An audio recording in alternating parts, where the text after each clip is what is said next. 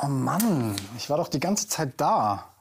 Sie kennen das wahrscheinlich auch. Man ist zwar zu Hause, aber statt des Paketes bekommt man nur so einen Abholschein hier. Darf der Paketbote das überhaupt? Und muss ich jetzt einen Tag warten und muss mich dann morgen bei der Post in die Schlange stellen? Oder gibt es vielleicht doch einen Ausweg? Mein Kollege Matthias Fiedler hat die Antwort. Päckchen und Briefe bekommen und verschicken ist so einfach. Nicht immer, gerade vor Festen, wenn man viel bestellen muss und die Zeit drängt. Für die Party am Freitag braucht sie noch ein Outfit. Mit viel Glamour und Bling Bling. Zum Glück gibt's den Sofortliefer-Button. Klappt ja super mit der Lieferung. Bitte schön. Dankeschön. Schönen Dank noch. Hätte auch keine Minute länger dauern dürfen. Nur leider Das sind die falschen. Da muss sie zurückschicken. Aber wie? Der Originalkarton fällt wohl aus. Was, wenn kein Paket zur Hand ist? Schatz, ich habe eine Idee. Hauptsache weg mit den Dingern und schnell zur Post. Da reicht bestimmt auch eine einfache Tüte, wenn sie sicher verschlossen ist. Geht doch so, oder? Unser Reporter Matthias hat sich durch den Vorschriften-Dschungel gekämpft und weiß, wie die Post abgeht. In Verpackungsfragen für Rücksendungen bin ich der absolute Experte. Das mache ich nämlich jeden Tag x-mal. Aber geht das auch in einem alten Karton oder einer Tüte? Antwort A. Es gibt keine Vorschrift für die Verpackung von Paketen. Kein Problem. Haben Sie den Zettel dabei? Ja, klar. Also egal wie es verpackt ist, irgendwie geht es immer. Oder ist Antwort B richtig? Gebrauchte Kartons gehen nicht, weil die Sendung so nicht sicher genug verpackt ist. So, Matthias, hau rein. Sag uns, wie es läuft. Ich kann euch sagen, Antwort A ist richtig. Natürlich könnt ihr jeden Karton nehmen, zum Beispiel auch so einen alten Schuhkarton oder ein Päckchen, was ihr selbst bekommen habt. Aber Vorsicht, wenn da noch Etiketten drauf sind, immer vorher abmachen, sonst besteht die Gefahr, dass das Paket zu euch zurückkommt. Ihr solltet auch keine Kordeln und sowas verwenden. Da bleiben die Sachen nämlich gerne in den Sortiermaschinen der Post hängen. Ebenso gefährlich ist dieses äh, braune Verpackungsband. Da kann man nämlich, wenn man nicht aufpasst, die Strichcodes auf den Etiketten verdecken und dann kommt das Paket auch nicht an. Kleiner Profi-Tipp noch, nehmt keine Verpackungen, die nach wertvoll aussehen, also nicht unbedingt den Karton vom Tablet oder sowas. Solche Sachen werden nämlich gern gestohlen. Die stabile Tüte geht also auch. Es muss kein Paket sein. Jetzt noch fix die Schuhe neu bestellen, klick und weg.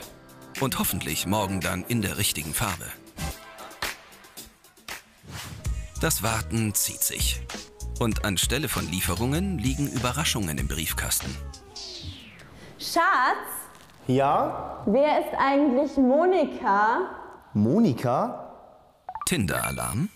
Nee, ich kenne keine Monika. Glück gehabt. Der Postbote hat sich im Kasten geirrt und aus Versehen einen falschen Brief reingesteckt. Kann mal passieren. Bei über 60 Millionen Briefen, die die Post pro Tag befördert, da gehen Sendungen schon mal verloren.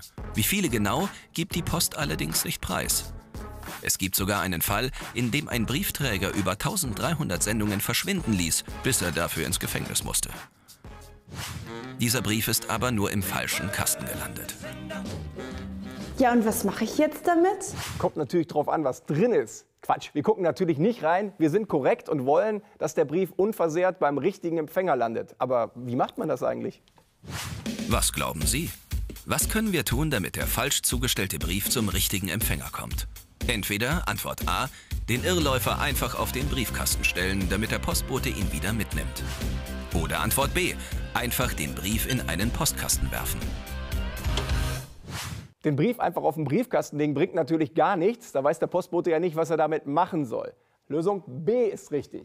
Am besten, ihr schreibt noch Empfänger unbekannt drauf und dann schmeißt ihr den Brief einfach in den Briefkasten oder gebt ihn bei der Post ab. Extra frankieren müsst ihr ihn nicht. Die Marke bleibt auch für den Weg zurück zum Absender gültig.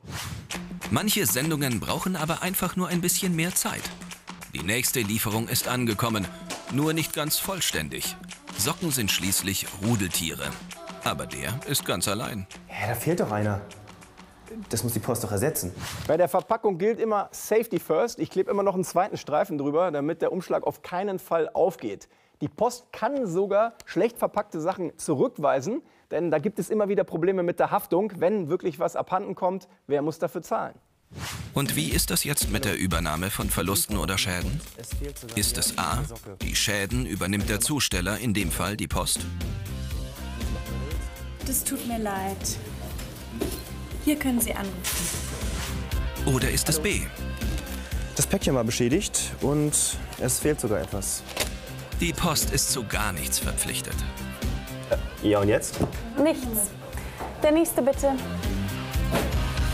Antwort A ist richtig. Wenn ein Händler etwas verschickt, Waren zum Beispiel, dann sind die immer versichert. Wenn ich als Privatmensch etwas versende, dann muss ich aufpassen. Da sind nämlich nur Pakete versichert, bis 500 Euro. Wenn ich jetzt aber der lieben Oma zum Geburtstag unbedingt einen Umschlag schicken will, mit ein bisschen Bargeld und einer schönen goldenen Kette, dann wird es riskant. Da muss ich unbedingt eine Zusatzversicherung buchen, die heißt Wert National. Kostet 4,30 Euro und kann für Waren nach Quittungswert, Geld bis 100 Euro und für Sachwerte bis 500 Euro abgeschlossen werden. Aber Achtung, den Wert auf keinen Fall draufschreiben. Die Socke wird nicht ersetzt, aber er ist das nächste Mal schlauer. Unser Partypaar steht ziemlich unter Druck. Also aufs Wesentliche konzentrieren und die Verluste verschmerzen. Da die Überraschung, der Paketbote mit den nachbestellten Schuhen. Hallo? Ja, fünfte Etage bitte.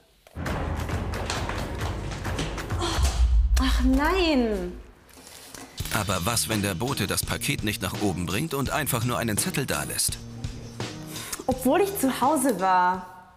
Tja, von diesen schönen gelben Zetteln habe ich eine ganze Sammlung. Dabei wohne ich gerade mal im zweiten Stock. Herzlich willkommen in der Warteschlange. Und jedes Mal, wenn das passiert, frage ich mich, muss der Postbote nicht zu mir an die Wohnungstür kommen mit dem Paket?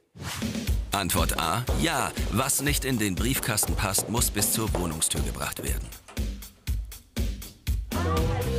Antwort B. Nein.